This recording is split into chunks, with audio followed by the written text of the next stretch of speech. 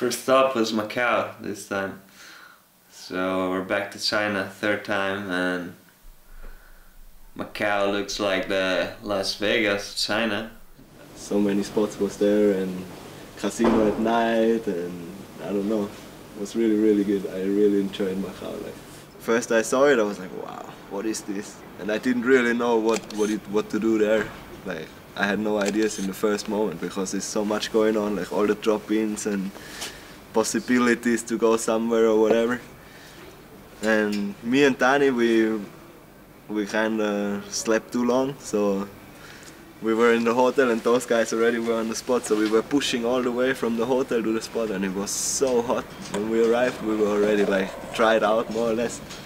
And then the spot, it was just super bright, like with this, you had almost to skate with sunglasses to be able to see uh, something. But it was crazy, like the transition perfect. Perfect Chinese, they're a bit, bit daunting. The first time you're like, oh, it's all skinny, like little track. It was cool though. It was ridiculous. It was like all white, so reflecting, crazy. You couldn't really skate there without shades. And it was super hot too, you know. Yeah, me and Ross tried to do something. I don't know. I think some. I, I didn't even want to do the ollie in the in the first few moments, but someone was saying, yeah, you could maybe skate out of that. And I think it even was Ross like saying, yeah, you could maybe skate out of that, jumping over there. I was like, ah, yeah, maybe. Let's have a go. Ross did the best thing on that spot. He did the backside flip, like, I don't know, 25 times perfect. It was perfect.